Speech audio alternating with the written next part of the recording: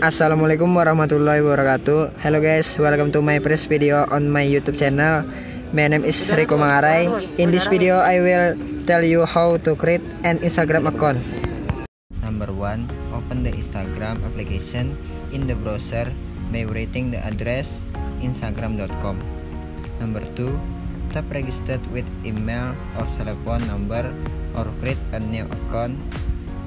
Then enter your uh, email address or telephone number which will require a confirmation code. Then tap next. You can also tap login with Facebook to register using a Facebook account.